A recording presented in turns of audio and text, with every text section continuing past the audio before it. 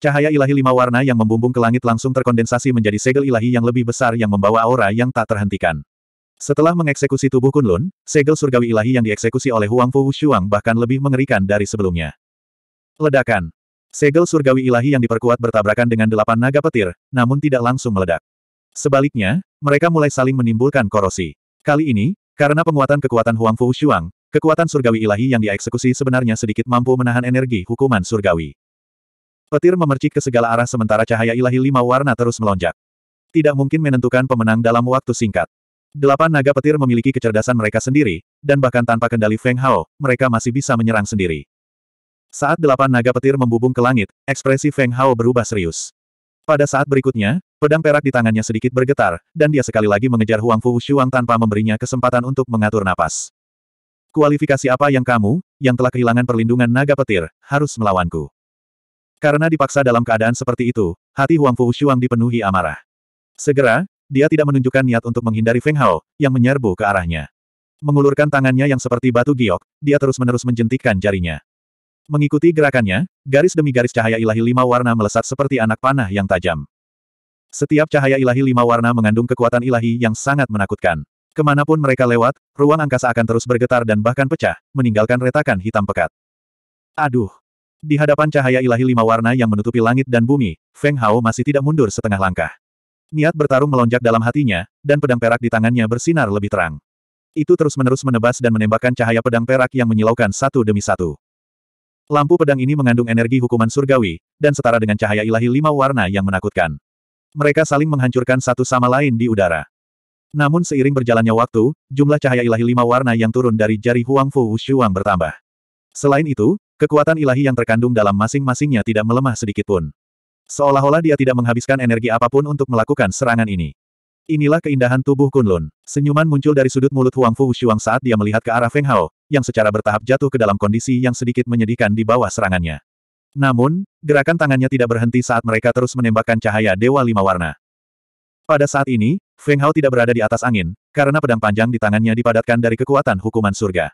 Pada saat ini, Pusaran esensi bela diri di dantiannya terus berputar, memancarkan kekuatan hukuman surga yang lebih cemerlang. Itu terus-menerus menyatu dengan pedang panjang perak di tangannya, menyebabkan kekuatannya tidak berkurang. Namun, jika ini terus berlanjut, dia pasti bukan tandingan Huang Fu Wushuang. Huang Fu Wushuang memiliki fisik langit ilahi, jadi dia mampu menguras tenaganya, tetapi dia tidak bisa. Tidak baik jika ini terus berlanjut. Feng Hao memanfaatkan kesempatan itu untuk mengangkat kepalanya. Dia melirik ke arah naga petir dan kekuatan suci tubuh Kunlun yang terjalin di udara, dan hatinya sedikit tenggelam. Jika dia kalah, maka delapan naga petir yang ada di udara juga akan terkena dampaknya, dan mereka bahkan mungkin akan tertindas oleh kekuatan ilahi agung dari tubuh Kunlun. Ini sama sekali bukan sesuatu yang ingin dilihat Feng Hao. Aku harus memaksa Huang Fu Wushuang kembali secepat mungkin. Selama dia terluka, maka kekuatan suci dari tubuh Kunlun yang bisa dia eksekusi akan terpengaruh, dan delapan naga petir yang aku kendalikan akan mampu menduduki wilayah tersebut dengan kuat. Tangan atas. Ketika dia memikirkan sampai di sini, Feng Hao tidak ragu-ragu lagi. Efek dari misteri tanpa batas masih ada, jadi dia segera menjerit pelan. Tanda misterius merah menyala di tubuhnya bersinar redup, dan sepasang sayap merah menyala di punggungnya menjadi lebih jelas. Dia segera menjerit panjang, dan niat bertarung di hatinya mendidih hingga batasnya. Cahaya perak terus berkumpul di matanya, dan sepertinya ada domain petir tak terbatas di murid Feng Hao. Pedang panjang perak di tangannya sepertinya dipengaruhi oleh Feng Hao dan menjadi lebih cemerlang. Saat ia sedikit bergetar, arus listrik yang tak terhitung jumlahnya muncul entah dari mana, meningkatkan kekuatannya beberapa tingkat. Pada saat berikutnya, sayap Feng Hao mengepak, dan dia berubah menjadi bayangan merah menyala yang melesat secara eksplosif ke arah Huang Fu Shuang. Ke mana pun pedang perak di tangannya melintas, pedang itu praktis menjadi sambaran petir besar yang menerjang awan. Huang Fu Shuang, mari kita tentukan pemenangnya. Di seluruh ruang ini, selain desisan petir yang melesat ke segala arah, hanya suara Feng Hao yang tak henti-hentinya yang tersisa. Huang Fu Wushuang merasakan resolusi dalam serangan Feng Hao, dan dia tahu bahwa tidak mudah untuk memblokirnya. Ekspresi Huang Fu Wushuang berubah serius. Kecepatan Feng Hao terlalu cepat. Dia telah berubah menjadi bayangan merah menyala, dan dia praktis muncul di hadapannya dalam sekejap. Segera, dia terpaksa terus mundur sementara cahaya ilahi lima warna yang terkondensasi di tangannya terus-menerus ditembakkan. Dia perlu waktu untuk bersiap melawan pedang Feng Hao.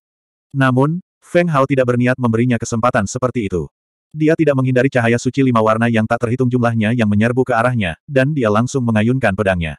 Segera, cahaya pedang berbentuk bulan sabit yang sangat besar keluar, dan itu membawa energi destruktif dari hukuman surgawi saat bertabrakan dengan lima cahaya ilahi berwarna.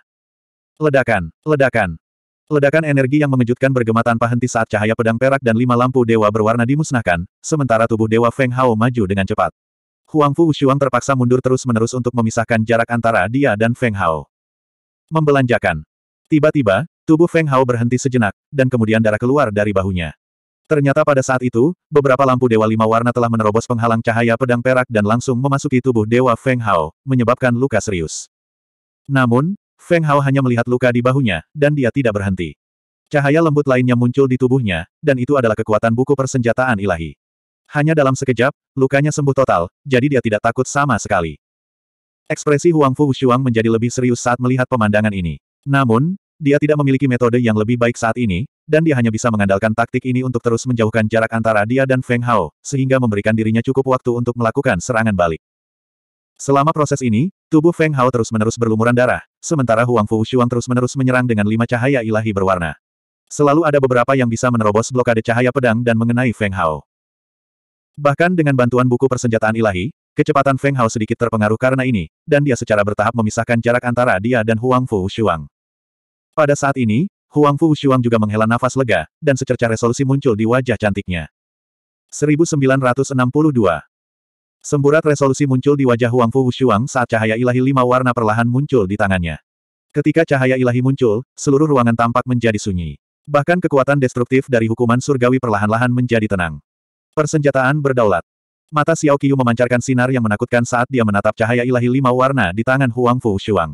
Gelombang energi yang mengejutkan menunjukkan bahwa Huang Fu Shuang telah mengeluarkan persenjataan berdaulat dan situasi Feng Hao menjadi sedikit berbahaya. Haha, cermin ilahi langit kun. Gan tua tersenyum saat melihat tindakan Huang Fu Shuang. Dengan keluarnya Sovereign Armament, siapa yang bisa melawannya? Seiring dengan tindakan Huang Fu Shuang, Feng Hao langsung berhenti bergerak dan segera mundur. Dia jelas sangat takut dengan gelombang Skikun Mirror. Jika bukan karena dia mengeksekusi segel naga penusuk langit, dia pasti sudah mati sekarang. Namun, dia tidak yakin dengan kemampuannya untuk menahan serangan ini bahkan jika dia menggunakan segel naga pembalik langit kali ini. Karena Huang Fu Shuang pasti menyadari bahwa kartu truf terakhirnya adalah segel naga yang menjungkir balikan langit, dan serangan ini pasti akan melampaui yang terakhir. Cahaya ilahi lima warna di tangan Huang Fu Shuang berangsur-angsur stabil dan energi yang sangat besar mengalir pada cermin ilahi lima warna yang tampak sederhana. Auranya saja sudah cukup membuat orang lain terkejut. Kali ini, aku tidak akan membiarkanmu memiliki kesempatan sedikit pun untuk bertahan hidup. Huang Fu Wushuang berbicara dengan dingin sementara segumpal pucat muncul di wajahnya yang cantik saat ini, dan keringat sebesar kacang kedelai tak henti-hentinya menetes ke wajahnya. Meskipun dia telah memperoleh pengakuan dari cermin langit-langit, dia pasti harus membayar harga yang cukup mahal untuk dapat memanfaatkannya dengan kultivasinya saat ini. Tetapi demi membunuh Feng Hao, Huang Fu Wushuang harus mengertakkan gigi dan menanggungnya, tidak peduli seberapa mahal harganya. Saat cermin ilahi kun surgawi berangsur-angsur menampakkan wujud aslinya, aura menakutkannya berkumpul hingga batasnya. Pada saat ini, hukuman surgawi yang merasuki wilayah ini sebenarnya tidak sebanding dengan kekuatan ilahi dari cermin ilahi kun surgawi. Feng Hao mengerutkan alisnya. Huang Fu Wushuang telah mengeluarkan artefak berdaulatnya, menempatkannya pada posisi yang tidak menguntungkan. Bisakah dia menggunakan segel naga pembalik langit untuk melawan? Pikiran ini terlintas di benak Feng Hao, tapi dia segera menolaknya. Kali ini berbeda. Sebelumnya, ada orang yang menonton dari samping. Bahkan jika kedua belah pihak terluka, masih ada orang yang akan keluar untuk menghentikan mereka. Namun, Kali ini berbeda. Ini adalah pertarungan hidup dan mati. Tidak peduli apakah itu dia atau Huang Fu Shuang, mereka sama sekali tidak akan memberikan kesempatan kepada pihak lain untuk hidup. Bahkan jika dia menggunakan segel naga pembunuh surga, dia sama sekali tidak akan mampu menahan satu serangan pun darinya. Gumpalan senyuman dingin segera muncul di sudut mulut Huang Fu Shuang ketika dia melihat ekspresi Feng Hao berubah tanpa henti. Meskipun dia hanya bisa memanfaatkan cermin surgawi untuk meluncurkan satu serangan, itu sudah cukup. Dia ingin memusnahkan Feng Hao dalam satu serangan. Mari kita akhiri dengan gerakan ini. Suara Huang Fu Wushuang sangat acuh tak acuh. Dia diam-diam menggigit ujung jarinya, dan kemudian setetes darah yang berisi pancaran cahaya ilahi lima warna menetes ke cermin ilahi kun surgawi. Dalam sekejap, cermin ilahi kun surgawi sepertinya telah terbangun, dan gejolak yang mengerikan muncul darinya. Saat tersapu, seluruh ruangan bergetar. Cahaya ilahi lima warna mengalir di cermin ilahi kun surgawi, dan tampaknya memiliki kecerdasan. Huang Fu Wushuang perlahan mengangkat cermin ilahi kun surgawi dan mengarahkannya ke Feng Hao dari jauh. Kemudian, fluktuasi yang sangat kuat dengan cepat memadat. Ketika dia melihat ini, alis Feng Hao semakin erat. Dia tidak mencoba menghindar karena dia tahu bahwa dia dikunci oleh cermin surgawi Kun Divine. Tidak peduli seberapa cepat dia, mustahil baginya untuk melarikan diri. Pada saat ini, Feng Hao benar-benar berada dalam situasi tanpa harapan. Saat menghadapi senjata berdaulat, dia sepertinya tidak punya cara untuk menghindari serangan ini. Namun, sebuah pemikiran terlintas di benak Feng Hao saat ini. Dia mengingat sembilan esensi energi yang ditinggalkan oleh Dewa Kekosongan untuknya, dan dia mulai mempertimbangkan pro dan kontra di dalam hatinya. Energi yang terkandung dalam sembilan esensi energi itu sangat menakutkan. Meskipun Huang Fu Wushuang memiliki senjata berdaulat, dia tidak dapat sepenuhnya mengeluarkan kekuatan senjata berdaulat. Jika dia dengan paksa menyempurnakan sembilan esensi energi itu, maka pusaran martial Yuan miliknya akan menghasilkan energi yang lebih mengerikan. Jika itu terjadi, maka dia tidak akan mampu melakukan perlawanan. Namun konsekuensi dari tindakan tersebut sangatlah parah. Dengan fisiknya saat ini, mustahil baginya untuk menyempurnakan sembilan esensi energi tersebut. Jika dia memurnikannya dengan paksa, bahkan tubuh fisiknya tidak akan mampu menahan energi yang sangat besar dan dia akan meledak. Sejak pemikiran ini muncul di benaknya, dia tidak bisa menghilangkannya. Feng Hao tidak ingin menggunakan metode ini karena dia tidak percaya diri. Dia memaksa dirinya untuk tenang dan mencoba mencari cara lain. Namun, kekuatan ilahi yang dipancarkan oleh cermin surgawi kun ilahi di atasnya menjadi semakin menakutkan, seolah-olah akan turun kapan saja. Hal ini membuat pikiran Feng Hao semakin tidak tenang. Ayo kita lakukan. Selain itu, tidak ada cara lain. Sambil menarik napas dalam-dalam, dia membuang semua pikiran yang mengganggu di benaknya. Dia perlahan menutup matanya dan diam-diam mulai memurnikan sembilan esensi energi di tubuhnya. Melihat Feng Hao perlahan-lahan menutup matanya, Kiyu kecil, Patu Wagan, dan bahkan Huang Fu Shuang tertegun sejenak. Apakah ini berarti Feng Hao akan menyerah? Kamu tahu bahwa kamu tidak punya kesempatan, jadi kamu hanya akan duduk dan menunggu kematian. Mata Huang Fu Wushuang dipenuhi dengan niat membunuh. Ini bahkan lebih baik. Feng Hao tidak menolak, itulah yang dia inginkan. Pada saat ini, cermin ilahi kun surgawi yang perlahan-lahan diangkat telah mengumpulkan energi yang kuat. Huang Fu Wushuang menutup matanya dan bibir kemerahannya bergerak lembut saat dia terus-menerus melantunkan mantra kuno. Pada saat berikutnya, cermin ilahi kun surgawi berangsur-angsur berkembang dengan pancaran cahaya ilahi lima warna yang mempesona dan memadat menjadi satu titik. Namun, pada saat ini, Feng Hao tiba-tiba membuka matanya. Transformasi Desolate Profundity yang dia keluarkan langsung terhalau saat riak energi yang sangat kuat menyebar dari tubuhnya. Kedua mata Feng Hao merah padam dan wajahnya memerah. Pembuluh darah di lengannya menonjol, seolah dia menderita semacam rasa sakit. Pada saat ini, dia telah melupakan Sovereign Divine Armament yang bisa turun kapan saja, serta keberadaan Huang Fu Shuang. Pada saat ini, pikirannya sepenuhnya terfokus pada pusaran martial Yuan miliknya. Saat ini, ada sembilan esensi energi yang mengambang di pusarannya. 1963 Sembilan esensi ditinggalkan oleh Dewa Kekosongan agar Feng Hao dapat menerobos ke alam kaisar. Tidak sulit membayangkan energi tak terbatas yang terkandung di dalamnya. Pada saat ini, meskipun fisik Feng Hao luar biasa, hampir mustahil baginya untuk menahan kekuatan penuh dari sembilan esensi-esensi ini. Namun, di bawah paksaan Huang Fu Shuang, dia akan dihancurkan oleh senjata dewa tertinggi jika dia tidak melakukannya. Oleh karena itu, Feng Hao memilih untuk mengambil risiko dan menyempurnakan sembilan esensi. Bang, bang, bang. Gelombang ledakan teredam terus-menerus terdengar dari dalam tubuh Feng Hao. Di saat yang sama, lapisan kabut darah menyebar dari permukaan tubuhnya. Kulitnya seperti sawah yang layu, retak sedikit demi sedikit. Kelihatannya sangat menakutkan. Apa yang dia coba lakukan? Apakah dia mencoba menerobos ke alam berikutnya? Huang Fu Wushuang dan Patu Wagan memandangnya dengan bingung. Bahkan jika dia berhasil menerobos, berapa banyak energi yang tersisa untuk dia lawan? Percuma saja. Sudut mulut Huang Fu Wushuang terangkat membentuk lengkungan yang mengejek. Matanya dipenuhi dengan rasa jijik.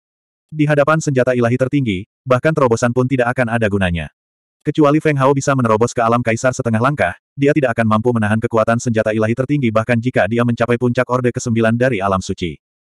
Oh tidak, mungkinkah dia sedang menyempurnakan sembilan bola ki yang mendalam? Merasakan aura kekerasan dan besar di dalam tubuh Feng Hao, ekspresi Xiao Qiu Qiu berubah.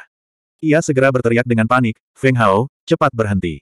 Kamu tidak dapat menahannya sekarang. Jika kamu melanjutkan, kamu akan meledak dan mati. Itu telah menyaksikan pertumbuhan Feng Hao. Harus diakui bahwa, sebagai dewa binatang, ia sering iri dengan bakat Feng Hao. Namun, sebagai sahabat terdekat Dewa Kekosongan, ia tahu betapa mengerikannya energi yang terkandung dalam sembilan esensi itu. Bahkan sekuat sekarang, ia tidak berani mengatakan bahwa ia dapat menahannya. Namun, yang tidak diketahuinya adalah bahwa situasi saat ini sudah di luar kendali Feng Hao. Ketika energi dari sembilan manik esensi Yuan mulai mengamuk, dia sudah merasakan ada sesuatu yang salah. Oleh karena itu, dia ingin menghentikannya. Namun, dia menyadari bahwa sembilan manik esensi Yuan itu seperti bom yang telah dinyalakan dan tidak dapat lagi diredam. Oleh karena itu, dia hanya bisa menyaksikan manik-manik esensi sembilan Yuan terus disempurnakan. Untuk mencegah tubuhnya meledak, dia hanya bisa memilih untuk memfokuskan seluruh energinya untuk menjaga fisiknya. Namun, ini lebih seperti usaha yang sia-sia. Feng Hao bisa merasakan tubuhnya runtuh sedikit demi sedikit. Pada akhirnya, kamu akan tetap mati di tanganku. Huang Fu Wushuang perlahan mengangkat cermin langit dan bumi di tangannya dan berkata dengan dingin.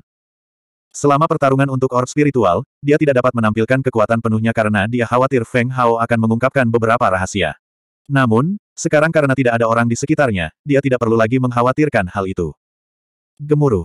Guntur bergemuruh di langit. Cermin langit dan bumi bagaikan terik matahari, memancarkan ribuan sinar cahaya ilahi.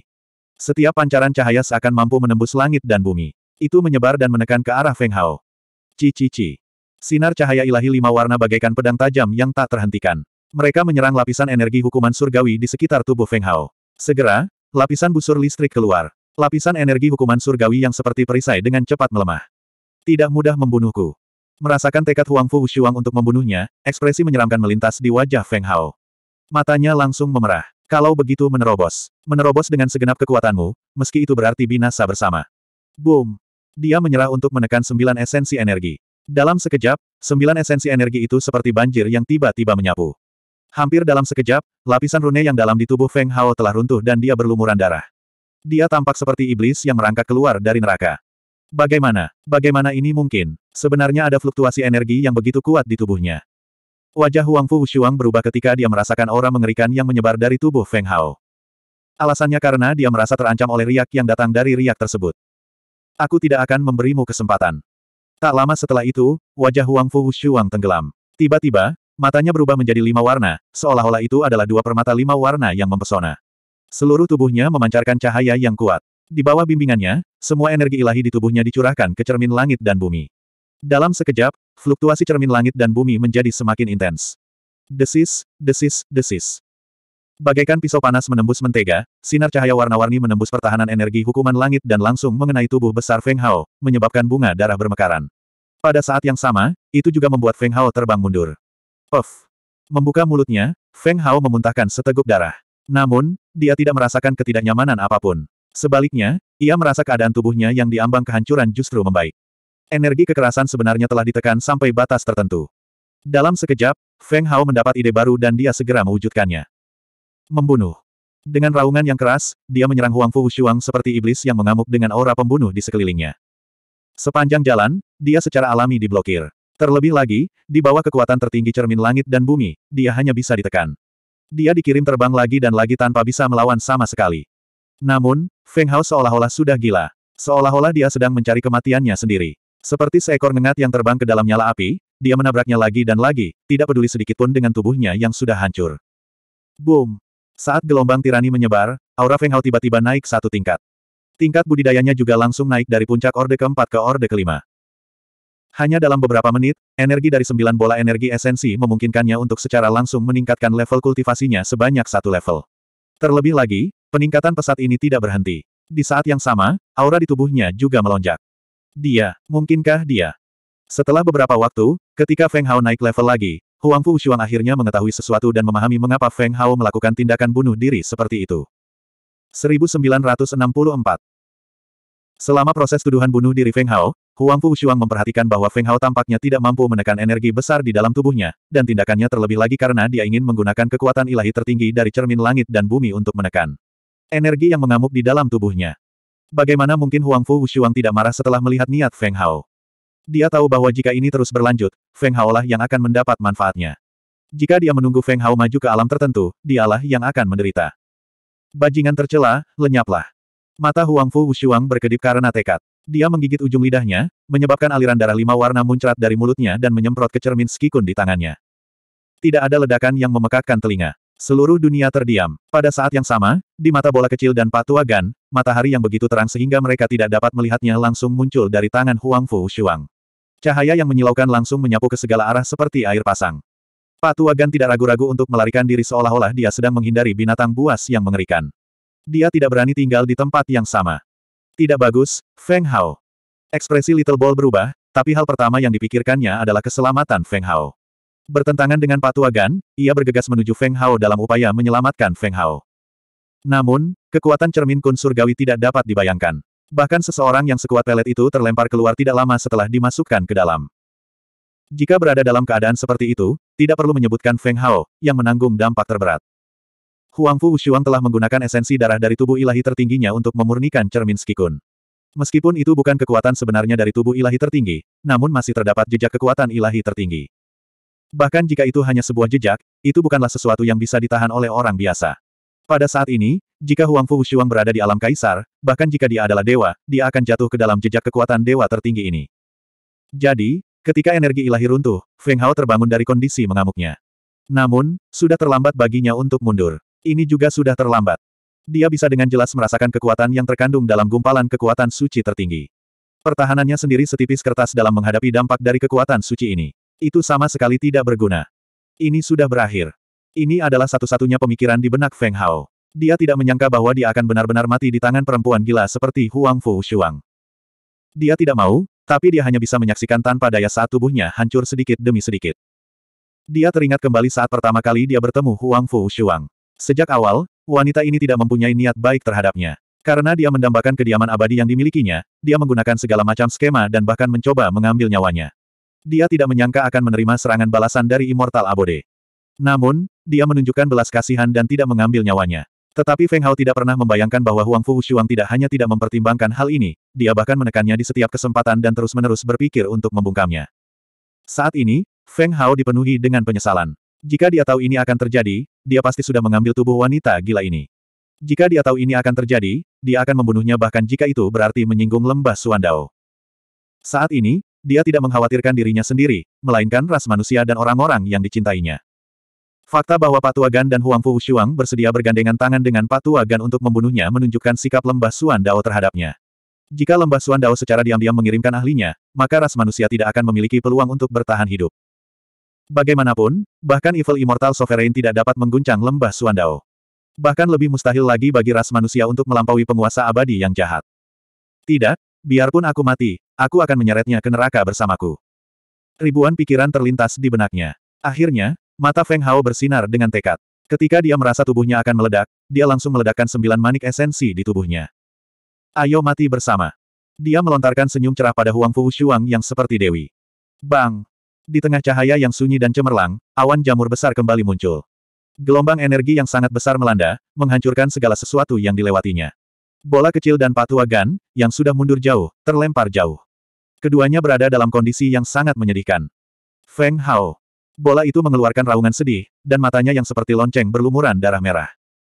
Ia bisa merasakan fluktuasi familiar yang terkandung dalam gelombang energi itu. Pada saat yang sama, ia juga mengetahui apa yang diwakilinya. Di sisi lain, Patua Gan tidak jauh lebih baik. Wajahnya penuh kepanikan. Jika gelombang energi tidak berhenti, dia pasti sudah bergegas mendekat. Sebagai salah satu tetua inti lembah Suandao, dia mengetahui nilai Huang Fu Shuang dengan sangat baik. Lembah Suandao tidak mampu kehilangan dia. Dia tidak bisa membayangkan betapa marahnya para petinggi jika Huang Fu Wushuang meninggal di sini. Bahkan seorang tetua inti seperti dia tidak akan mampu menanggung konsekuensinya.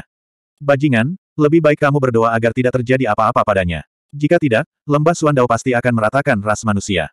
Wajah Pak Tuagan menjadi agak mengerikan. Dia mengeluarkan raungan seperti binatang buas dan merobek topeng munafiknya, memperlihatkan sisi haus darahnya. Hanya karena lembah Suandaomu. Xiao Qiu juga marah. Setelah dimarahi seperti ini, ia langsung meraung kembali. Jangan berpikir bahwa hanya lembah Suandao Anda yang memiliki senjata ilahi kuno.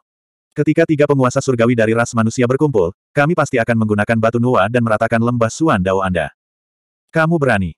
Pak Tuagan juga kehilangan kendali atas emosinya. Gelombang energi yang kuat menyebar dari tubuhnya. Jika bukan karena dia ingin mengetahui situasi Huang Fu Shuang, dia pasti sudah bergegas dan bertarung sampai mati dengan Xiao Qiu. Aku, Dewa Binatang, dengan ini bersumpah bahwa jika sesuatu terjadi pada Feng Hao, aku akan membuat lembah Suandao menanggung akibatnya. Xiao Qiu meraung. Sikapnya tidak hanya pantang menyerah, tetapi juga mengancam. Jika itu terjadi pada puncak lembah Suandao di zaman kuno, ia mungkin tidak akan berani menantang otoritas lembah Suandao. Tapi sekarang, waktunya berbeda. Lembah Suandao tidak memiliki siapa pun yang bisa menghentikannya. Selama ia tidak menyerang wilayah inti lembah Suandao seperti penguasa abadi jahat, ia yakin bahwa ia dapat menangani semua ahli lembah Suandao tanpa ancaman senjata ilahi kuno. 1965. Tidak ada yang tersisa setelah ledakan besar itu. Bola kecil dan Patuagan tidak dapat menemukan apa pun. Feng Hao dan Huang Fu Wushuang telah benar-benar menghilang. Tidak ada tanda-tanda kehidupan. Ekspresi Little Ball sangat jelek. Patuagan juga tidak jauh lebih baik. Keduanya tampak tidak percaya pada wajah mereka. Tak satu pun dari mereka percaya bahwa Feng Hao dan Huang Fu Wushuang telah menghilang begitu saja. Namun, ketika dia memikirkan dua ledakan berturut-turut, hatinya tenggelam ke dasar. Meskipun Feng Hao dan Huang Fu Wushuang sangat berbakat dan dapat dianggap sebagai penguasa generasi muda, mereka belum benar-benar dewasa. Bahkan Kiu-Kiu kecil dan Patu Wagan tidak berani mengatakan bahwa mereka akan mampu bertahan dari dampak seperti itu. Mungkinkah mereka benar-benar mati? Bola kecil bergumam dengan suara gemetar. Dia tidak lagi memiliki kepercayaan diri dan ketenangan seperti di masa lalu. Matanya berkedip karena panik. Dewa Kekosongan pernah bertemu dengan guru citra surgawi yang pertama, jadi dia mengetahui beberapa hal yang tidak diketahui orang lain. Karena Dewa Kekosongan telah memilih untuk mendukung Feng Hao, bagaimana Feng Hao bisa mati begitu mudah? Little Ball tidak mau mempercayainya, tapi dia masih tidak bisa menemukan jejak aura Feng Hao. Seolah-olah dia menguap ke udara. Dia tidak menyangka bahwa sembilan manik-manik esensi yang dengan susah payah ditinggalkan oleh Dewa Kekosongan tidak hanya gagal membantu Feng Hao, tetapi juga malah menyakitinya. Tidak, ini tidak benar. Ushuang memiliki senjata dewa tertinggi yang melindunginya. Bagaimana dia bisa mati begitu saja? Patu Agan mengamati sekeliling. Tidak ada yang tertinggal. Namun, dia menemukan sesuatu yang aneh. Memang benar, bahkan dia tidak bisa menahan ledakan tadi. Namun, itu tidak berarti dampaknya cukup untuk menghancurkan senjata dewa tertinggi, Cermin Skikun. Cermin Skikun ditempa secara pribadi oleh Supreme Tian Kun. Itu berisi kekuatan makhluk ilahi tertinggi. Bagaimana bisa hancur dengan dampak sekecil itu? Namun, cermin Skikun telah menghilang bersama dengan Huang Fu Shuang. Mendengar kata-katanya, Xiao Qiu Qiu juga terkejut. Omong-omong, Feng Hao masih memiliki tempat tinggal abadi, segel naga pemakan surga, mutiara roh, dan benda-benda lainnya di tubuhnya. Tidak peduli apa pun yang terjadi, mereka tidak mungkin hancur dalam ledakan itu. Jika mereka tidak mati, ke mana mereka pergi? Bagaimana mereka bisa menghilang? Mata bola kecil itu berkedip-kedip tidak yakin saat ia dengan hati-hati mengingat kembali semua yang telah terjadi dalam pikirannya. Tidak mungkin bagi Huang Fu Shuang dan Feng Hao untuk meninggalkannya, dan jika mereka melakukannya, Feng Hao pasti akan memperingatkannya. Jika keduanya tidak pergi, maka keberadaan mereka tidak dapat dijelaskan dengan jelas. Xiao Qiu dan Patu Agan saling bertukar pandang dan menyadari bahwa keduanya memiliki keraguan yang sama. Dalam sekejap, keraguan di mata mereka berubah menjadi kemarahan. Kalian manusia akan membayar untuk ini. Lembah Suan Daomu akan membayar untuk ini. Keduanya berbicara hampir bersamaan. Aura mengerikan mereka kental, penuh ancaman dan kemarahan. Huang Fu Wushuang sangat penting bagi lembah Suandao, tetapi Feng Hao bahkan lebih penting bagi umat manusia dan bagi Xiao Qiu. Namun, Pak Tua Gan tahu bahwa ini adalah wilayah umat manusia, dan dia tidak memiliki kemampuan untuk membunuh Xiao Qiu. Karena itu, dia tidak bertengkar dengan Xiao Qiu dan memilih untuk pergi. Bajingan. Xiao Qiu meraung di ruang gelap gulita. Raungannya mengguncang sekeliling dan tidak berhenti untuk waktu yang lama. Ketika Liu Chanyan dan Huang Tianyun bergegas mendekat, mereka melihat Xiao Qiu yang sedih. Dalam sekejap, perasaan tidak menyenangkan muncul di hati mereka. Apa yang telah terjadi? Huang Tianyun bertanya dengan alisnya berkerut. Setelah bertanya beberapa kali, Xiao Qiu sepertinya sadar kembali. Wajahnya menjadi gelap, dan dia menatapnya dengan lemah sebelum menundukkan kepalanya. Saya bisa merasakan ada pertempuran besar di sini. Liu Chanyan menutup matanya dan merasakan sisa gelombang di sekitarnya. Di mana Feng Hao? Alis Huang Tianyun semakin berkerut. Xiao Qiu masih tidak menjawab. Ia menundukkan kepalanya dan tetap diam. Melihat reaksinya, perasaan tidak menyenangkan di hati Huang Tianyun dan Liu Chanyan semakin kuat.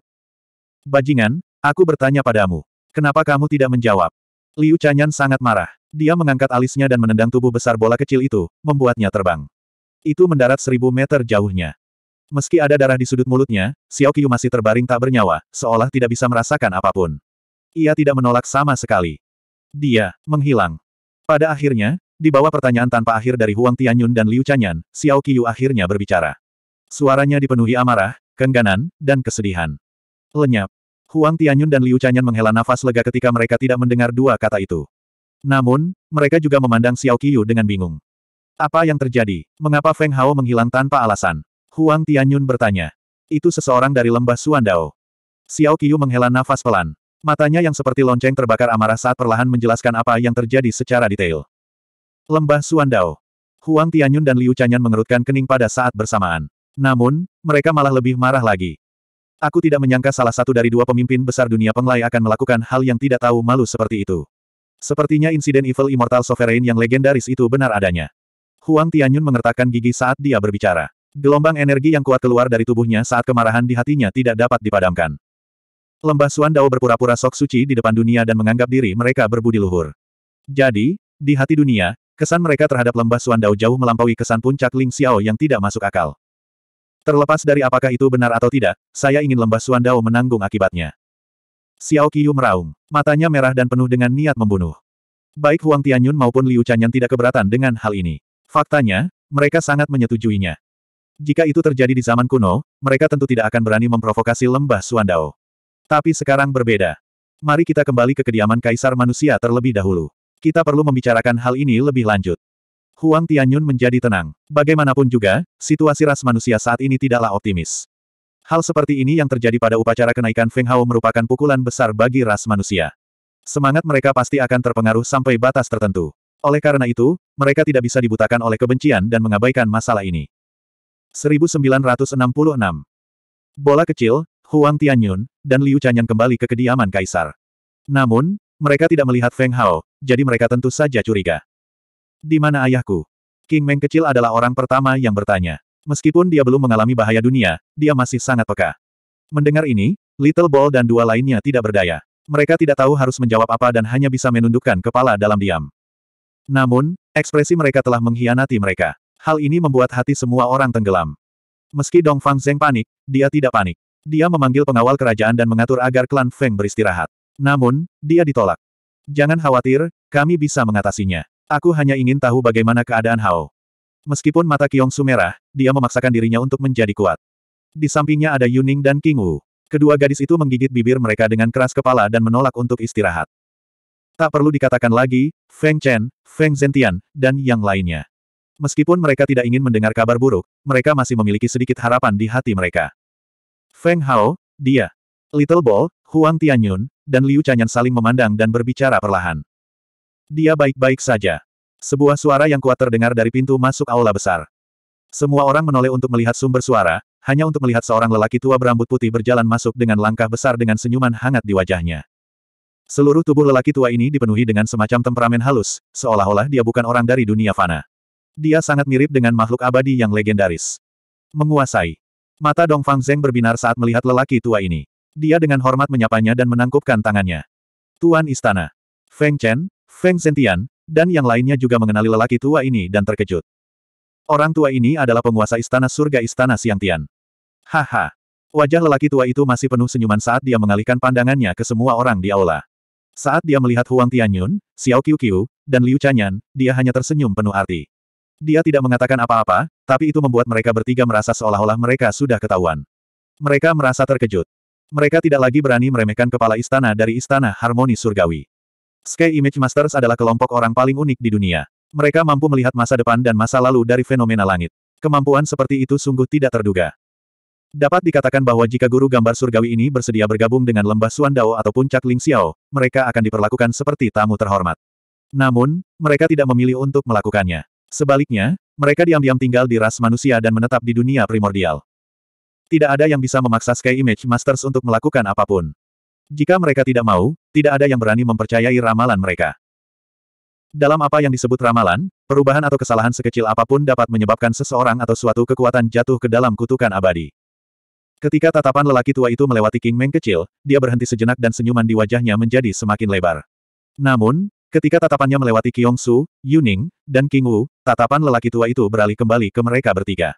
Lebih tepatnya, itu terjadi pada Yuning. Bukan karena Yuning luar biasa. Sebaliknya, Yuning terlihat terlalu biasa. Sebelumnya, di pernikahan Feng Hao, lelaki tua itu pernah melihat Yuning, tapi dia tidak terlalu memperhatikannya. Namun, sekarang dia melihat Yuning lagi, dia memiliki perasaan yang berbeda. Selama itu adalah seseorang yang berhubungan dengan Feng Hao, nasib mereka akan menjadi kabur. Namun, nasib Yuning sangat jelas. Jelas sekali sehingga orang tua itu tidak dapat memahaminya. Dari segi fenomena langit, Yuning tampak seperti orang biasa. Bakatnya rata-rata, kualifikasinya rata-rata, dan dia tidak terlalu beruntung. Berdasarkan beberapa poin ini, dia ditakdirkan untuk tidak terlalu sukses. Bolehkah aku bertanya apakah ini peri suci tangan murni yang terkenal di dunia purba? Orang tua itu tidak mau berbasa-basi dengan Dong Fang Zeng. Sebaliknya, dia berjalan menuju Su dan berdiri di depan Yuning. Ini. Yuning memandang Su, lalu perlahan mengangguk dan mengakuinya. Gadis kecil ini hanyalah seorang ahli pengobatan. Itu hanya lelucon dunia. Kata-kata peri salah. Ini adalah kehormatan yang diberikan dunia kepadamu. Mereka memanggilmu seperti itu dari lubuk hati mereka yang paling dalam. Orang tua itu mengelus janggut putih di dagunya. Meskipun dia memiliki senyuman di wajahnya, jauh di dalam matanya, ada rasa keraguan yang kuat. Berdasarkan pencapaian Yuning saat ini, dia jelas tidak sesederhana yang dia munculkan di fenomena langit. Jika dia benar-benar orang dengan kualifikasi biasa-biasa saja, bagaimana dia bisa mencapai begitu banyak hal di jalur alkimia? Selain itu, kecepatan kemajuan kultivasinya juga sangat mengejutkan lelaki tua itu. Jika Yuning berasal dari dunia penglai, lelaki tua itu tidak akan terlalu terkejut. Namun, Yuning telah tinggal di benua langit bela diri dan dunia primordial. Di ruang yang tandus energi spiritual, untuk mencapai prestasi seperti itu, bahkan jika itu adalah Feng Hao, akan sulit untuk mencapainya. Bagaimana orang seperti itu bisa menjadi sederhana? Namun, tidak peduli bagaimana lelaki tua itu mencoba, tidak peduli bagaimana dia menghitung fenomena langit, dia tetap tidak dapat melihat petunjuk sedikit pun. Dia, jelas tidak biasa. Dengan temperamen lelaki tua itu, dia secara alami tidak akan terlibat dalam masalah ini. Segera, dia melepaskan kekhawatirannya. Dia percaya bahwa suatu hari, wanita biasa di depannya ini akan menjadi brilian. Dia bahkan mungkin menjadi orang yang bisa mengubah dunia.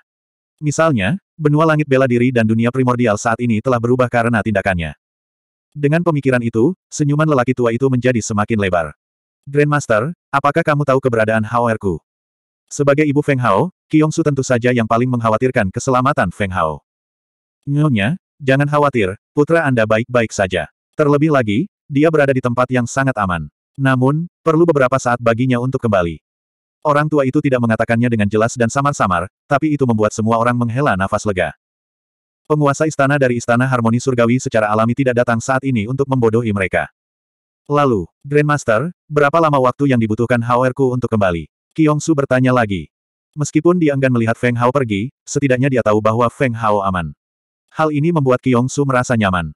Ini adalah rahasia surgawi. Begitu saya mengatakannya, mungkin ada variabelnya. Orang tua itu mengelus janggut putih di dagunya sambil berbicara sambil tersenyum. Dia menangani situasi ini dengan mudah. Ketika dia mendengar ini, Su tentu saja tidak melanjutkan masalah ini lebih jauh. Kedatangan dan perkataannya juga membuat suasana di aula menjadi lebih tenang. Hal ini terutama terjadi pada Xiao Qiu, Huang Tianyun, dan Liu Chanyan, yang semuanya menghela nafas lega. 1967 karena kedatangan ketua Istana Surga Xiangtian, kediaman Kaisar Fana, yang awalnya dalam keadaan panik, menjadi tenang. Adapun Huang Tianyun, Liu Chanyan, dan Xiao Qiu Qiu, meskipun mereka tidak dapat melakukan apa pun terhadap lembah Suandao, juga tidak dapat secara langsung memprovokasi mereka, mereka masih dapat melampiaskan kemarahan mereka pada klan roh dukun dan klan api liar.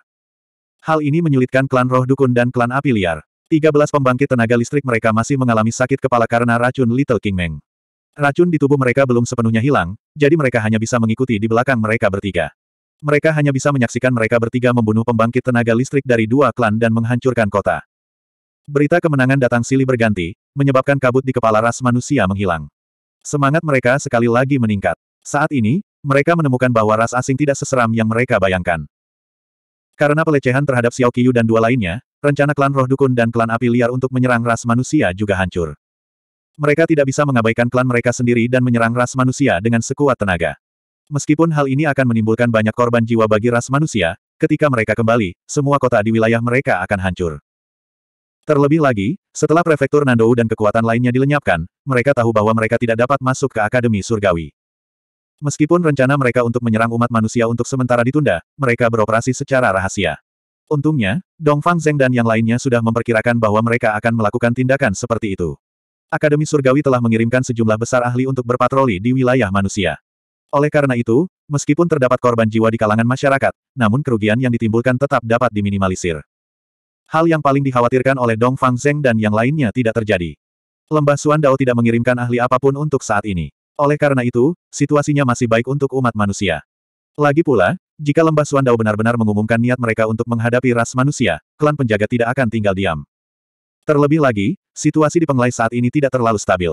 Sejak wanita berbaju merah kembali ke paviliun angin musim semi, paviliun angin musim semi telah mengubah gaya kesabarannya yang biasa.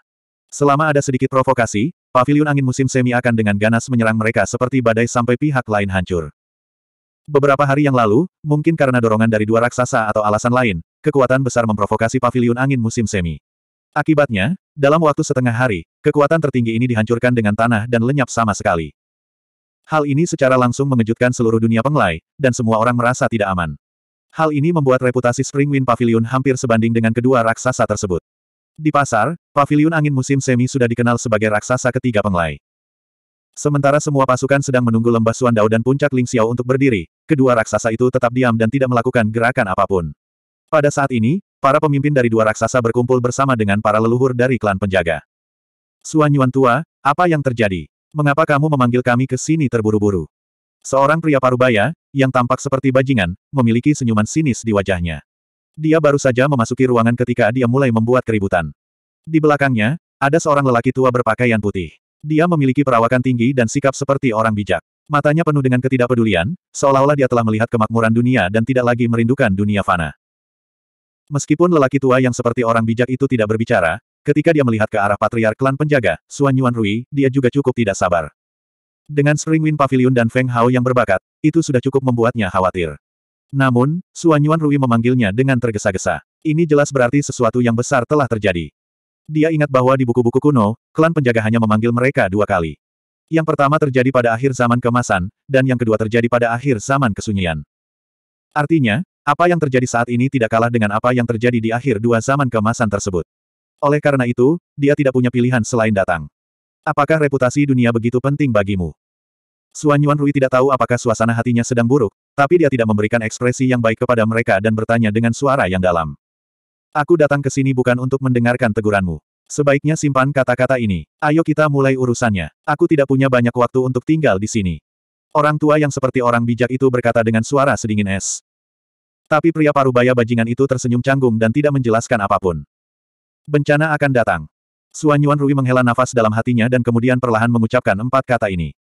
Omong kosong apa yang kamu bicarakan? Bencana apa yang sedang terjadi sekarang? Tidak ada kaisar besar di dunia ini, bagaimana bencana bisa datang? Ketika lelaki tua yang seperti orang bijak itu mendengar kata-kata ini, dia tertegun sejenak. Lalu dia langsung menegur. Dia hendak melambaikan lengan bajunya dan pergi. Jelas, dia mengira dia sedang dipermainkan. Sepertinya kamu bahkan telah melupakan misi nenek moyangmu sendiri. Kata-kata Suan Yuan Rui membuat dia, yang sudah berjalan ke pintu, menghentikan langkahnya.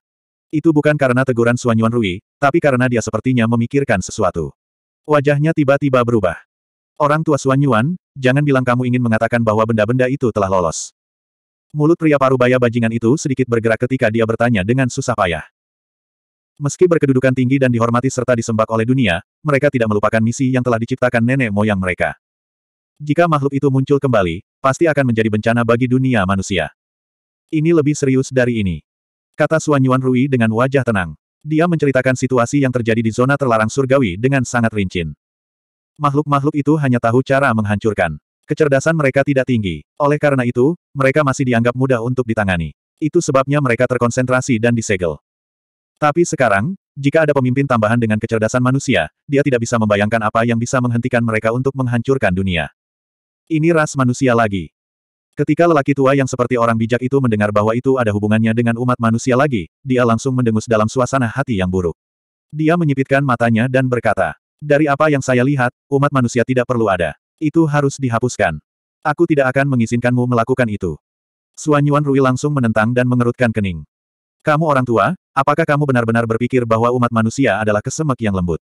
Jika kamu memiliki kemampuan, hapuslah agar aku dapat melihatnya. Siapa yang tidak tahu bagaimana berbicara besar? Pria parubaya bajingan itu berkata dengan nada menggoda. Namun, tidak ada sedikit pun tawa di wajahnya. Umat manusia mendapat perlindungan dari senjata ilahi kuno Batu Nuwa. Di dunia ini, siapa yang berani mengatakan bahwa mereka bisa menyentuh fondasi umat manusia? 1968. Orang tua yang seperti orang bijak itu tidak bisa berkata-kata oleh kata-kata pria paruh baya itu. Jika itu adalah kekuatan atau ras lain, lembah suandau miliknya akan mampu menghancurkan mereka dengan mudah. Namun, ras manusia adalah tulang yang keras.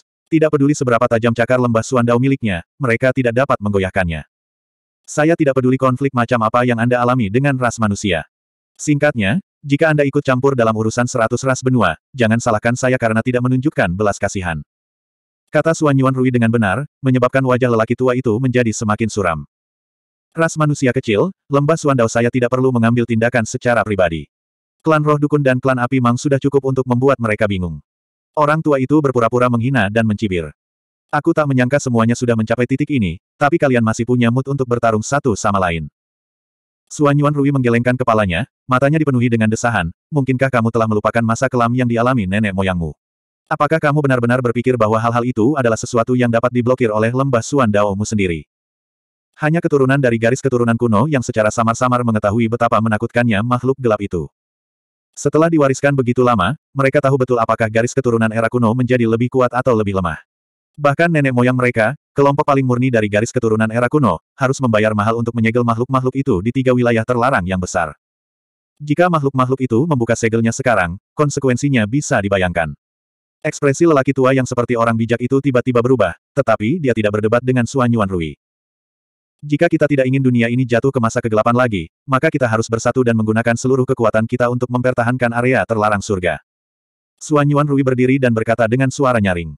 Tidak peduli apakah itu pria parubaya atau pria tua yang bijak, pada saat ini, mereka tidak berbicara dan mendengarkan dalam diam. Mereka juga mengirimkan sejumlah besar ahli untuk menjaga kawasan terlarang surga.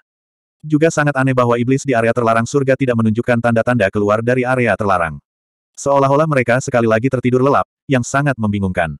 Namun, Suan Yuan Rui tahu bahwa ini pasti ketenangan sebelum badai. Hujan ini tidak bisa diprediksi kapan akan datang. Mungkin, begitu hal itu terjadi, seluruh dunia akan jatuh ke dalam kegelapan. Hal-hal aneh terjadi satu demi satu di benua surga bela diri. Untuk beberapa alasan yang tidak diketahui, 13 kota kuno di benua surga bela diri sekali lagi berubah. Pilar cahaya keluar darinya, membentuk formasi di langit. Rasanya seperti lubang hitam muncul di langit. Siapa pun yang melihatnya akan merasa ngeri, mengira akhir dunia telah tiba. Namun, yang aneh adalah tidak lama kemudian, keadaan menjadi tenang seperti sebelumnya, seolah-olah tidak terjadi apa-apa. Berita ini secara alami diketahui oleh para petinggi klan Feng. Namun, Feng Zentian dan yang lainnya tidak bisa berbuat apa-apa. Mereka hanya bisa memerintahkan agar 13 kota kuno dijaga ketat. Jika ada gerakan aneh, mereka akan melaporkannya langsung ke Istana Kaisar Fana. Kegelapan, kegelapan tak berujung, sehitam tinta. Tiba-tiba, bola cahaya muncul di kegelapan, menerangi ruang di sekitarnya.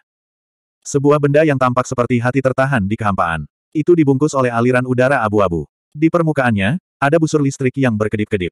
Kelihatannya sangat aneh.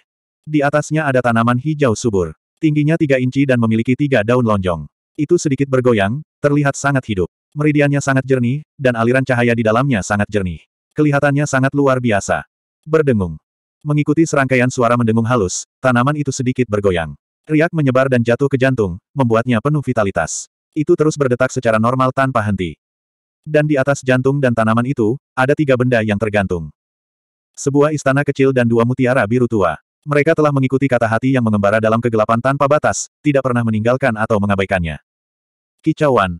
Setelah teriakan burung phoenix, sosok merah menyala muncul. Melihat jantung yang berdetak kencang di kehampaan, sepasang mata merah dipenuhi dengan kesedihan, dan suara itu menangis darah.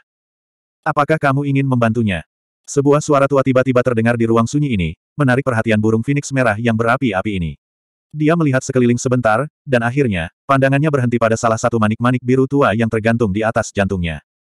Tepat di garis pandangnya, manik biru tua itu memancarkan cahaya berkilauan, perlahan-lahan mengembun menjadi sosok tua. Anak ini terlalu ceroboh. Dia sama sekali tidak tahu apa yang penting. Melihat jantungnya yang masih berdetak, Penatua Fen menghela nafas panjang. Tanpa diragukan lagi, Hati ini milik Feng Hao, dan tanaman mutiara secara alami adalah ramuan abadi Senong. Saat itu, Huang Fu Wushuang menggunakan senjata ilahi tertinggi, dan dia mengambil risiko untuk menyempurnakan sembilan manik esensi yang ditinggalkan oleh Dewa Kekosongan untuk membuat terobosan. Pada akhirnya, dia meledak, dan semuanya hilang. Jika bukan karena perlindungan ramuan abadi, dia akan hancur berkeping-keping, dan tidak ada yang tersisa. Namun, situasi saat ini mungkin tidak lebih baik. Apakah dia bisa bertahan hidup masih menjadi masalah? Kicauan-kicauan. Melihat dia tidak berbicara, burung Phoenix berteriak dengan tergesa-gesa, seolah menanyakan sesuatu. Jelas sekali, bayangan Phoenix ini adalah Feng Shui Yue, yang telah tertidur di tubuh Feng Hao. Karena tubuh Feng Hao hancur maka dia terbangun dari tidurnya. Sekarang tubuhnya telah meledak, hanya ada satu cara untuk terlahir kembali. Melihat Huang Sui Yue, yang hanyalah seekor burung Phoenix ilusi, Penatua Fen mengerutkan kening dan menggelengkan kepalanya. Ini tidak adil bagimu. Jika anak itu tahu, dia tidak akan mengizinkannya. Kicauan-kicauan. Mendengar ini, burung Phoenix tampak panik. Ia mengepakkan sayapnya, seolah mengatakan bahwa ia bisa melakukan apa saja. Awalnya, Penatua Fen tidak mau mengatakannya. Namun, melihat jantungnya berdetak semakin lambat bahkan di bawah perlindungan ramuan abadi Senong, dia mengertakkan gigi. Kalau begitu mari kita menjadi egois sekali saja. Semoga anak ini tidak gegabah di masa depan. Dalam kehampaan, bintik-bintik cahaya berkilauan dan bintik-bintik cahaya merah perlahan meresap ke dalam hati. Perlahan, jantungnya berdetak semakin kencang. Pada akhirnya, ia bahkan meletus dengan cahaya yang sangat kuat. 1969. Dalam kegelapan tak berujung, cahaya lemah menyala seperti kunang-kunang. Tidak ada yang tahu di mana letak kegelapan ini, dan tidak ada yang tahu apa yang diwakili oleh cahaya lemah ini. Dalam cahaya redup, ada banyak sekali gambar yang melintas. Seorang pemuda yang telah membuka kunci pantom marsial fisik setelah menahan rasa sakit yang luar biasa. Ada juga monster besar berkepala naga, berbadan harimau, dan berkaki empat seperti kilin. Wajah-wajah familiar yang tak terhitung jumlahnya melintas. Ketika orang-orang ini muncul, titik cahaya seperti kunang-kunang menjadi sedikit lebih cemerlang. Namun, Seiring semakin banyaknya sosok manusia yang melintas, titik cahaya tersebut menjadi semakin intens. Pada akhirnya, sosok buram seorang wanita yang diselimuti cahaya Dewa Lima Warna turun dari langit. Setelah itu, terjadi ledakan yang menggemparkan bumi. Semuanya hancur. Semuanya musnah dalam ledakan itu. Pada saat ini, cahaya lemah sudah menjadi semakin cemerlang. Ia bahkan secara langsung memenuhi seluruh kegelapan, seolah ingin menghilangkan kegelapan sepenuhnya. Namun, pada saat ini, di dataran terpencil, ada seorang pria yang hampir telanjang bulat. Dia terbaring di tanah tanpa gerakan sedikit pun, seolah dia sudah lama mati. Di sampingnya, banyak burung berpenampilan aneh yang sesekali mengangkat kepala memandangi tubuh lelaki itu, seolah siap mematuknya kapan saja. Namun, di saat berikutnya, tubuh pria yang sudah tidak bernapas lagi tiba-tiba bergerak sedikit. Wajahnya menjadi sangat kesakitan, seolah-olah dia sedang mengalami semacam penyiksaan. Sesaat kemudian, air mata terus mengalir dari matanya yang tertutup rapat. Segera setelah itu, dia tiba-tiba membuka matanya dan berteriak, jangan. Suara ini membuat khawatir burung-burung di sampingnya, langsung membuat mereka takut. Saat burung-burung ini terus mengepakkan sayapnya dan pergi, pria itu diam-diam berdiri dari tanah. Tangannya mengusap keningnya, seolah dia merasakan sakit yang luar biasa. Di mana ini? Pria itu mengusap keningnya dan perlahan mengangkat matanya. Matanya dipenuhi kebingungan. Dia mengalihkan pandangannya ke sekelilingnya, tapi pemandangan itu tidak memberinya rasa keakraban sedikit pun. Namun, pada saat ini, beberapa gambaran muncul di benaknya. Gambar-gambar ini sangat aneh. Ada berbagai macam manusia, binatang raksasa aneh, dan senjata yang dapat menghancurkan langit dan bumi. Ah, apa ini? Pria itu memegang kepalanya dengan tangannya. Dia terstimulasi oleh gambaran yang terlintas di benaknya. Dia tidak tahu apa itu, tapi ketika dia mencoba menghubungkannya, dia merasakan semacam sakit. Seolah-olah ribuan jarum perak menusuk dirinya. Rasa sakitnya hampir membuatnya pingsan. Feng Hao, Feng Hao. Pria itu menutup matanya rapat-rapat. Segala macam gambaran terlintas di benaknya. Apakah itu manusia atau binatang raksasa, mereka semua memanggilnya Feng Hao. Namun, dia tidak tahu siapa Feng Hao. Siapa Feng Hao, dan siapa aku. Pria itu sepertinya tidak mampu menahan rasa sakit di pikirannya dan pingsan sekali lagi. Meskipun dia pingsan, dia masih menggumamkan nama Feng Hao. Ketika pria itu pingsan, samar-samar dia mendengar langkah kaki dan merasakan ada seseorang yang mendekatinya. Ayah, ada seseorang yang tidak sadarkan diri di sini. Sebuah suara lembut terdengar. Dari suaranya, seharusnya pemilik suaranya tidak terlalu tua. Dia masih bernapas. Dia belum mati. Suara lelaki dalam lainnya terdengar. Ayah, apakah kita akan menyelamatkannya? Bawa dia kembali. Ini hutan belantara, kita tidak bisa meninggalkannya begitu saja di sini. Beberapa waktu lalu, kami baru saja menyelamatkan seorang kakak perempuan. Hari ini, kami menyelamatkan satu lagi. Ada perasaan yang aneh akhir-akhir ini. Jangan terlalu banyak berpikir. Ini hanya kebetulan. Ayo bawa orang ini kembali. Segera setelah itu, seorang pria parubaya yang tegap mengangkat kepala pria yang tak sadarkan diri itu dan menggendongnya di punggungnya. Sambil memegang tangan seorang anak kecil, mereka perlahan menghilang dari dataran ini. Di sebuah desa, seorang wanita muda sedang mencuci sayuran bersama seorang wanita parubaya, bersiap memasak makan malam. Saya katakan, Nona Wushuang, Anda baru saja sembuh dari penyakit Anda. Jangan berjalan-jalan dengan santai. Lanjutkan istirahat di tempat tidur. Wanita parubaya itu mengobrol dengan wanita muda di sampingnya. Tidak apa-apa, Bibi. Aku tidak sehalus itu. Wanita itu mengangkat kepalanya, memperlihatkan penampilan yang tiada taraf. Meskipun tidak ada hiasan merah muda atau merah jambu, itu menambahkan sedikit keanggunan. Namun, jika orang-orang di dunia penglai melihatnya, mereka pasti akan menjadi pucat karena ketakutan. Karena dia adalah salah satu dari dua raksasa bermartabat, Huang Fu Wushuang dari lembah Suandao. Kamu, wanita parubaya itu mengungkapkan senyuman sederhana. Dia menarik tangan kecil Huang Fu Shuang ke kursi di depan pintu dan membiarkannya duduk. Dia tersenyum dan berkata, biarkan aku yang melakukan pekerjaan berat. Tunggu saja di sini beberapa menit. Saat ayah Xiao Yu kembali, kita bisa makan. Huang Fu Shuang tidak berdaya terhadap tindakan wanita parubaya itu, tetapi tidak ada yang bisa dia lakukan. Dia kemudian duduk dan menatap kosong ke langit. Dia sudah berada di sini selama setengah bulan. Dia tidak tahu di mana tempat ini. Ketika dia menyebut penglai, tidak ada seorang pun di sini yang mengetahuinya sama sekali. Apalagi pakaian yang mereka kenakan cukup aneh, seolah-olah sangat kuno. Terlebih lagi, ada beberapa aturan yang hanya dia lihat di buku-buku kuno. Mereka sama sekali tidak populer di dunia penglai. Di mana sebenarnya tempat ini? Huang Fu Wushuang bergumam pada dirinya sendiri. Dalam pertempuran dengan Feng Hao, dia bahkan tidak ragu-ragu menggunakan senjata ilahi kuno untuk menghentikan penghancuran diri gila terakhir Feng Hao.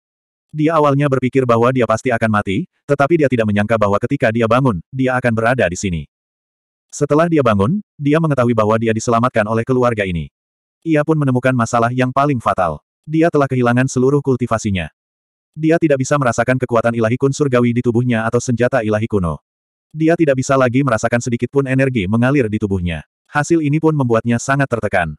Dia sangat ingin tahu di mana tempat ini. Dia ingin kembali ke lembah Suandao di dunia penglai. Dia tahu bahwa nenek moyang lembah Suandao pasti bisa membantunya. Namun, tidak ada seorang pun di sini yang pernah mendengar tentang dunia penglai, apalagi lembah Suandao. Pada saat ini, tiba-tiba terdengar tawa kekanak-kanakan di depannya. Suster yang tak tertandingi. 1970. Kenapa dia?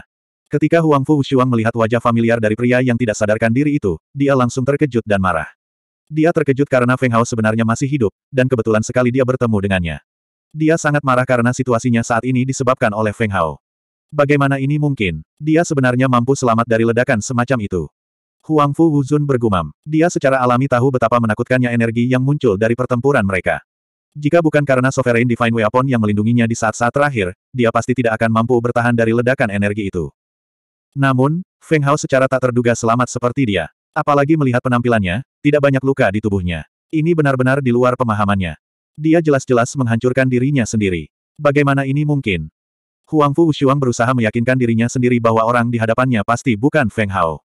Tetapi ketika ayah dan anak itu perlahan-lahan mendekat, dia dapat dengan jelas merasakan bahwa ada energi ilahi mengerikan yang mengalir di tubuh pria ini yang persis sama dengan Feng Hao. Tidak ada orang lain selain Feng Hao. Kakak Wu Shuang, lihat, ayah dan aku bertemu orang lain yang tidak sadarkan diri di luar hari ini. Anak kecil itu tersenyum sambil melompat ke depan Huang Fu Wushuang dan berkata dengan keras. Huang Fu Wushuang langsung menyembunyikan ekspresi aneh di wajahnya dan menunjukkan senyuman tipis. Dia menggendong anak kecil itu dan berkata, Xiao Yu, beritahu kakak, di mana kamu bertemu dengannya. Xiao Yu memiringkan kepalanya dan berkata, dataran sunyi. Tidak jauh dari tempat kakak pingsan terakhir kali. Mata indah Huang Fu Wushuang bersinar dengan sedikit pemahaman ketika dia mendengar kata-katanya. Itu benar-benar Feng Hao. Namun, dia merasa bingung di dalam hatinya. Bagaimana Feng Hao bisa bertahan? Dia jelas-jelas orang yang menghancurkan dirinya sendiri, tapi dia sekali lagi muncul di hadapannya dalam keadaan hidup dan sehat. Nona Wushuang, apakah Anda mengenalnya? Pria parubaya kekar itu meletakkan Feng Hao yang tidak sadarkan diri di punggungnya dan berkata kepada Huang Fu Wushuang dengan senyum konyol. Dia percaya bahwa Huang Fu Wushuang harus mengenalnya. Keduanya pingsan di desolatep lain, dan pada saat yang paling aneh, keduanya bertemu dengannya. Saat dia melihat Feng Hao yang pingsan, ekspresi Huang Fu Wushuang berubah tanpa batas. Jika itu terjadi di masa lalu, dia pasti tidak akan mengatakan apa pun dan langsung mengambil tindakan untuk membunuh Feng Hao. Tapi sekarang, energi di tubuhnya telah hilang sama sekali, apalagi membunuh seseorang, dia bahkan tidak bisa menyembelih seekor ayam. Iya, aku kenal dia. Kami berasal dari tempat yang sama. Huang Fu Wushuang mengangguk dengan sedih. Dia melirik Feng Hao yang tidak sadarkan diri dan menekan niat membunuh di dalam hatinya, dan ekspresinya menjadi sedikit dingin. Oh, dunia penglai yang kamu bicarakan. Pria kekar itu menggaruk bagian belakang kepalanya. Ia tahu bahwa wanita di hadapannya yang berpenampilan seperti peri itu jelas bukan orang biasa. Namun, apakah itu dia atau orang lain, mereka belum pernah mendengar tentang dunia penglai yang dia sebutkan. Huang Fu Wushuang mengangguk dan dengan lembut bertanya, Kakak Lin, bagaimana dia bisa pingsan? Pria tegap yang dipanggil sebagai kakak laki-laki Lin dengan tak berdaya berkata, saya tidak tahu. Ketika saya menemukannya, dia sudah tidak sadarkan diri. Namun dari penampilannya, dia sepertinya tidak mengalami luka apa pun. Dia harus bangun setelahnya, berbaring sebentar. Selanjutnya, kakak laki-laki Lin dan Xiao Yu membawa Feng Hao yang tidak sadarkan diri ke dalam rumah.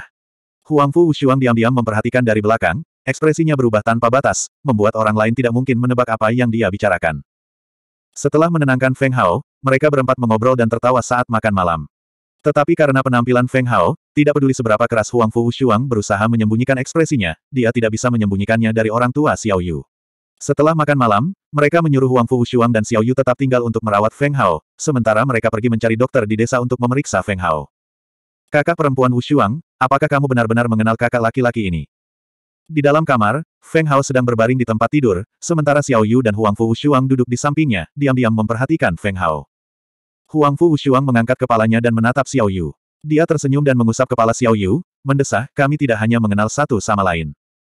Jika itu masalahnya, ketika kakak laki-laki bangun, dia pasti akan membawa kakak perempuan Wushuang kembali ke dunia apa pun itu.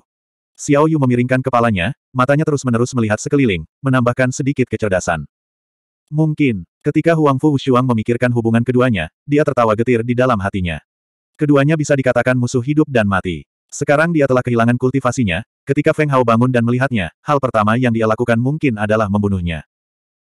Oleh karena itu, Huang Fu Wushuang sedang mempertimbangkan dalam hatinya apakah dia harus memanfaatkan keadaan bawah sadar Feng Hao untuk mengambil inisiatif untuk mendapatkan keunggulan. Namun, dia tidak memiliki kultivasi sedikit pun, jadi tidak mungkin dia melakukannya. Sedangkan untuk senjata biasa, dia langsung menyerah. Dia sangat menyadari kekuatan tubuh kedagingan Feng Hao. Kecuali dia bisa mengaktifkan cermin kun surgawi, mustahil baginya untuk menyakiti Feng Hao. Kakak, bisakah kamu memberitahuku tentang dunia penglai itu? Xiao Yu tiba-tiba menjadi sangat tertarik dengan dunia penglai yang disebutkan Huang Fu Shuang, dan menarik pakaian Huang Fu Shuang untuk bertanya. Ketika dia mendengar Xiao Yu menyebut dunia penglai, Huang Fu Shuang juga tenggelam dalam ingatannya, dengan lembut bergumam, dunia penglai adalah tempat berkumpulnya para ahli. Ratusan ras hidup berdampingan, dan segala jenis pertempuran terjadi setiap hari. Para ahli, Xiao Yu sangat asing dengan istilah ini, dan bertanya dengan bingung, bisakah mereka terbang di langit? Huang Fu Wushuang mendengar ini dan tertawa terbahak-bahak, mereka tidak hanya dapat terbang, tetapi mereka juga dapat menghancurkan gunung besar dengan jentikan jari. Ini adalah ahlinya. Wow, bukankah itu sama dengan orang-orang di kuil Daois? Xiao Yu berkata dengan penuh semangat, seolah dia sangat merindukan kemampuan seperti itu. Kuil Daois.